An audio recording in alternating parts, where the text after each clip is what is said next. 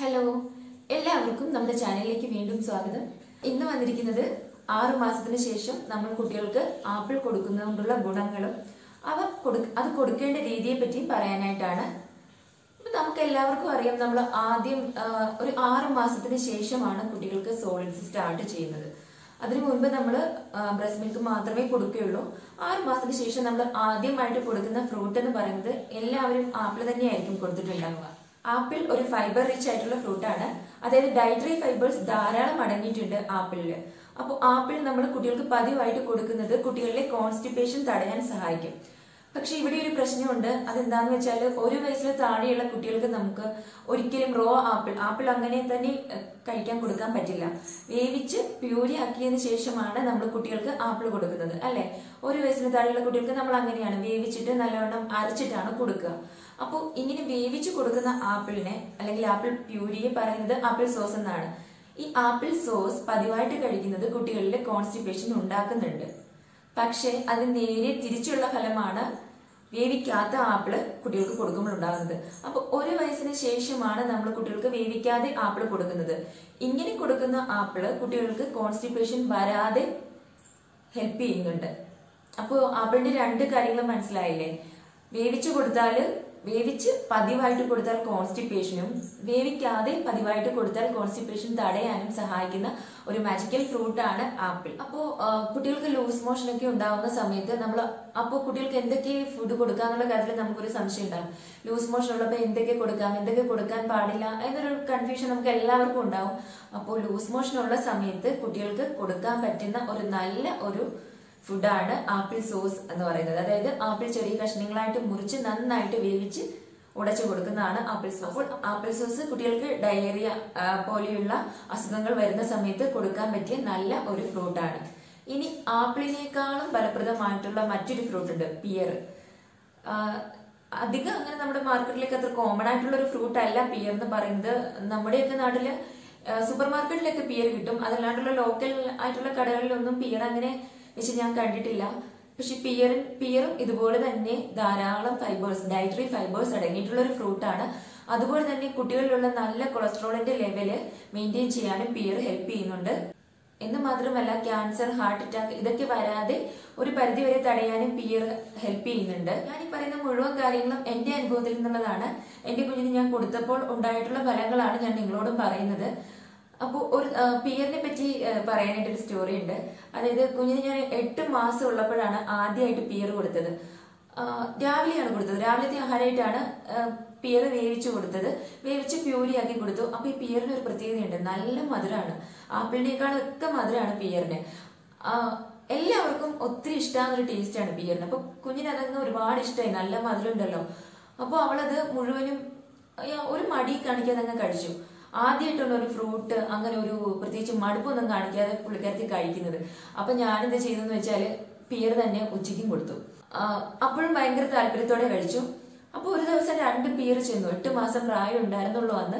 അപ്പൊ ആ ഒരു ദിവസം അവൾക്ക് രണ്ട് ചെറു അധികം വലിപ്പമുള്ള ഒരു മീഡിയം സൈസിലെ രണ്ട് പിയർ അന്ന് ഞാൻ കൊടുത്തു. ഒരു മൂന്ന് മണിയൊക്കെ ആയപ്പോ തൊട്ട് ചെറുതായിട്ട് ഇങ്ങനെ ഒരു ലൂസ് മോഷൻ പോലെ ഒരുപാടല്ല ചെറുതായിട്ട് ഇങ്ങനെ ലൂസ് മോഷൻ പോലെ വരാൻ തുടങ്ങി. ഒരു ഒരു തവണ കൊണ്ട് വന്നു ഞാൻ കൊണ്ടുപോയി വൃത്തിയാക്കിയിട്ടൊക്കെ തിരിച്ചു കൊണ്ടുവന്ന് വെച്ചപ്പോൾ പിന്നെയും വന്നു. അങ്ങനെ ഒരു മൂന്ന് നാല് തവണ അടുപ്പിച്ചു വന്നു. പിന്നെ അങ്ങോട്ട് എനിക്ക് എണ്ണാനുള്ള ഒരു സാവകാശം കിട്ടിയില്ല എന്ന് തന്നെ പറയാം. ഒരു പത്ത് പന്ത്രണ്ട് തവണയെങ്കിലും ആ ഒരു ഉച്ച തിരിഞ്ഞ സമയം കൊണ്ട് കുഞ്ഞ് പൂപ്പ് ചെയ്തു. അപ്പൊ എനിക്ക് മനസ്സിലാവുന്നില്ല ഇത് എന്ത് പറ്റി? എന്തുകൊണ്ടാണ് ഇങ്ങനെ വരുന്നതെന്ന് ഒരു പിടിയും കിട്ടില്ല ആലോചിച്ച് നോക്കിയപ്പോൾ അന്ന് ആകെ കുടിച്ചിട്ടുള്ളത് ബ്രസ്റ്റ് മിൽക്കും പിന്നെ ഈ പിയറും മാത്രമാണ് അപ്പൊ ഞാനത് നെറ്റിലൊന്ന് സെർച്ച് ചെയ്ത് നോക്കിയപ്പോഴാണ് മനസ്സിലായത് പിയർ എന്ന് പറഞ്ഞാൽ ഷുഗർ കണ്ടന്റ് ഒരുപാടുള്ള ഒരു ഫ്രൂട്ട് ആണ്. അപ്പൊ ഈ ഷുഗർ ഒരുപാട് ഉള്ളിൽ ചെല്ലുമ്പോൾ കുട്ടികൾക്ക് അത് ലൂസ് മോഷൻ ഉണ്ടാക്കാൻ കാരണമാകുന്നുണ്ട്. അപ്പൊ പിയർ മാത്രമല്ല പീൽ തുടങ്ങുന്ന ഫ്രൂട്ട്സ് എല്ലാം കുട്ടികൾക്ക് കോൺസ്റ്റിപ്പേഷൻ വരാതെ ഹെൽപ്പ് ചെയ്യുന്ന ഫ്രൂട്ട്സ് ആണ്. പിയർ പീച്ച് പ്ലം പിന്നെ നമ്മുടെ ഗ്രീൻ പീസ് ഉണ്ടല്ലോ. ഗ്രീൻ പീസ് എന്ന് പറയുമ്പോൾ ഡ്രൈ ആയിട്ടുള്ള ഗ്രീൻ പീസ് അല്ല ഫ്രഷ് ഗ്രീൻ ഗ്രീൻ പീസ് നമുക്ക് അപ്പോൾ അത് ആ പയറായിട്ട് തന്നെ നമുക്ക് വാങ്ങിക്കാൻ കിട്ടും. എന്നിട്ട് നമ്മളത് അടത്തിയിട്ട് കുട്ടികൾക്ക് ചോറിലൊക്കെ ചേർത്ത് കൊടുക്കാവുന്നതാണ്. അപ്പോൾ ഈ പീൽ തുടങ്ങുന്ന ഇത്രയും ഫ്രൂട്ട്സും വെജിറ്റബിൾസും കുട്ടികൾക്ക് കോൺസ്റ്റിപ്പേഷൻ വരാതെ ഹെൽപ്പ് ചെയ്യുന്ന ഫ്രൂട്ട്സ് ആണ് അതായത് സ്റ്റൂൾ ഒന്ന് ലൂസ് ആയി കിട്ടാനായിട്ട് സഹായിക്കും. അപ്പൊ കുഞ്ഞിന്റെ കാര്യത്തിൽ സംഭവിച്ചത് എന്താന്ന് വെച്ചാൽ ഒരു പിയറൊക്കെ ഓക്കെ.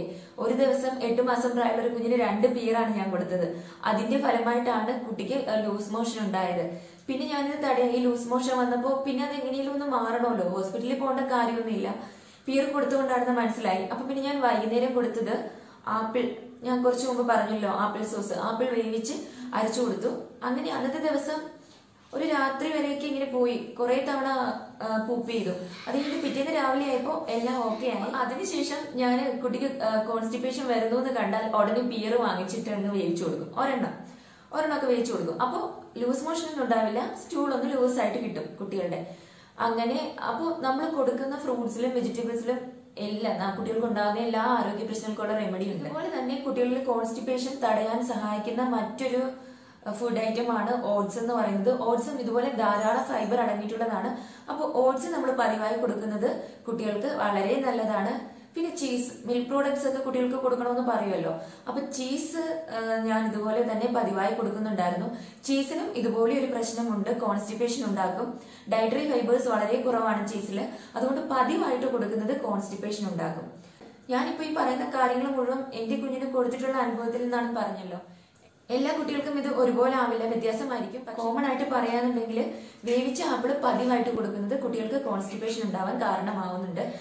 അപ്പോ നമുക്ക് തോന്നും അപ്പൊ പിന്നെ ഇതൊന്നും കൊടുക്കാൻ പറ്റത്തില്ലേ? ആപ്പിൾ വേവിച്ച് ആപ്പിൾ പ്യൂരി കൊടുക്കാൻ പറ്റില്ലേ? ക്യാരറ്റ് കൊടുക്കാൻ പറ്റില്ലേ? ചീസ് കൊടുക്കാൻ പറ്റില്ലേ എന്നൊക്കെ നമുക്ക് തോന്നാം. അങ്ങനെയല്ല നമ്മൾ ഡെയിലി ഒരേ സാധനം ഡെയിലി ആപ്പിൾ വേവിച്ച് കൊടുക്കുന്നുണ്ട്. അല്ലെങ്കിൽ ഡെയിലി ക്യാരറ്റ് വേവിച്ച് കൊടുക്കുന്നുണ്ട്. ഇങ്ങനെ വരുമ്പോഴാണ് കുട്ടികൾക്ക് കോൺസ്റ്റിപ്പേഷൻ ഒക്കെ ഉണ്ടാവാനുള്ള സാധ്യത. നമുക്ക് മിക്സ് ചെയ്ത് കൊടുക്കാം. ഒരു ദിവസം ആപ്പിൾ കൊടുത്തു കഴിഞ്ഞാൽ പിന്നെ രണ്ട് ദിവസത്തേക്ക് നമുക്ക് ഓട്സ് കൊടുക്കാം.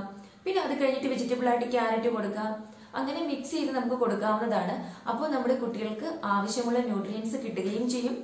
മറ്റ് അസുഖങ്ങളൊന്നും വരികയും ഇല്ല. നമുക്ക് ചെയ്യാൻ പറ്റുന്ന എന്താണെന്ന് വെച്ചാൽ കോൺസ്റ്റിപ്പേഷൻ ഉണ്ട് എന്ന് തോന്നുവാണെന്നുണ്ടെങ്കിൽ ഫൈബർ റിച്ച് ആയിട്ടുള്ള ഫ്രൂട്ട്സ് കൊടുക്കുക. പീൽ സ്റ്റാർട്ട് ചെയ്യുന്ന ഫ്രൂട്ട്സും വെജിറ്റബിൾസും കുട്ടികളുടെ ഡയറ്റിൽ ഉൾപ്പെടുത്തുന്നത് കുട്ടികൾക്ക് കോൺസ്റ്റിപ്പേഷൻ വരാതെ തടയുന്നു. അതായത് പിയർ പീച്ച് പ്ലം പിന്നെ നമ്മുടെ ഗ്രീൻ പീസ്. ഈ ഗ്രീൻ പീസ് ഫ്രഷ് ആയിട്ടുള്ള ഗ്രീൻ പീസ് വാങ്ങിക്കാൻ കിട്ടുമെന്ന് പറഞ്ഞല്ലോ. അത് നമുക്ക് പ്യൂരി ആയിട്ട് കൊടുക്കാം. വേവിച്ച് നന്നായിട്ട് അരച്ചു കൊടുക്കാം. ഒരു ഒൻപത് മാസം മുതലൊക്കെ ആണെങ്കിൽ നമ്മൾ കൊടുക്കുന്ന ചോറിന്റെ കൂടെ കുഞ്ഞിന് ചോറ് കൊടുക്കുമ്പോൾ അതിൽ വേവിച്ച് ചേർത്തിട്ട് നന്നായിട്ടൊന്ന് ഉടച്ചു കൊടുക്കാവുന്നതാണ്. അപ്പോൾ ഇത്രയേ ഉള്ളൂ ഇന്നത്തെ വീഡിയോ. ഞാൻ ഇതിൽ കോൺസ്റ്റിപ്പേഷൻ ഉണ്ടാകാൻ സാധ്യതയുണ്ട് എന്ന് പറഞ്ഞിട്ടുള്ള ഫ്രൂട്ട്സ് എല്ലാം കുട്ടികൾക്ക് കൊടുക്കാൻ പാടില്ല. കൊടുത്താൽ കോൺസ്റ്റിപ്പേഷൻ ഉണ്ടാവും എന്നല്ല ഞാൻ ഉദ്ദേശിച്ചത്. അത് കൊടുക്കുമ്പോൾ പതിവായിട്ട് കൊടുക്കാതെ മറ്റു ഫ്രൂട്ട്സും പീ പീയിൽ സ്റ്റാർട്ട് ചെയ്യുന്ന ഫ്രൂട്ട്സിന്റെയും വെജിറ്റബിൾസിന്റെയും കാര്യം പറയല്ലോ. അങ്ങനെയുള്ള ഡയറ്ററി ഫൈബേഴ്സ് ധാരാളം അടങ്ങിയിട്ടുള്ള ഫ്രൂട്ട്സും ആയിട്ട് മിക്സ് ചെയ്ത് കൊടുക്കാൻ ശ്രദ്ധിക്കുക. ആപ്പിളൊക്കെ ആപ്പിൾ സോസ് കൊടുക്കുന്നത് നല്ലതാണ്. പക്ഷെ പതിവായിട്ട് കൊടുക്കാതെ ഇരിക്കുക. അങ്ങനെ ശ്രദ്ധിക്കുക. ഓൾട്ടർനേറ്റ് ഡേയ്സിലൊക്കെ കൊടുക്കുക അല്ലെങ്കിൽ എല്ലാ വെജിറ്റബിൾസും ഫ്രൂട്ട്സും കുട്ടികളുടെ ഭക്ഷണത്തിൽ ഉൾപ്പെടുത്താൻ ശ്രദ്ധിക്കുക. പിന്നെ ഇതുപോലെ കുട്ടികൾക്ക് കോൺസ്റ്റിപ്പേഷൻ ഉണ്ടാക്കുന്നതും അല്ലെങ്കിൽ ലൂസ് മോഷൻ ഉണ്ടാക്കുന്നതുമായിട്ടുള്ള ഭക്ഷണ പദാർത്ഥങ്ങൾ വേറെയും ഉണ്ട്. ഞാനിപ്പോൾ ഈ വീഡിയോയിൽ പറഞ്ഞിട്ടുള്ള കാര്യങ്ങൾ മുഴുവനും ഞാൻ എന്റെ കുഞ്ഞിന് കൊടുത്തിട്ടുണ്ടായ അനുഭവത്തിൽ നിന്നാണ്. അപ്പോൾ കുട്ടിക്ക് ഞാൻ കൊടുത്തിട്ടുള്ള കാര്യങ്ങളെ പറ്റി മാത്രമേ ഞാൻ ഇതിൽ പറഞ്ഞിട്ടുള്ളൂ. അപ്പോൾ ഈ വീഡിയോ എല്ലാവർക്കും ഉപകാരപ്രദമായെന്ന് വിശ്വസിക്കുകയാണ്. വീഡിയോ ഇഷ്ടമായാൽ നിങ്ങൾക്ക് ഇത് ഉപകാരപ്രദമായിട്ട് തോന്നുകയാണെങ്കിൽ വീഡിയോ ഒന്ന് ലൈക്ക് ചെയ്യുക ഷെയർ ചെയ്യുക കമന്റ് ചെയ്യുക. പിന്നെ നിങ്ങൾ എന്റെ ചാനൽ ഇതുവരെ സബ്സ്ക്രൈബ് ചെയ്തിട്ടില്ലെങ്കിൽ ഒന്ന് സബ്സ്ക്രൈബ് ചെയ്യുക. മറ്റൊരു വീഡിയോയുമായി വീണ്ടും കാണാം. ബൈ.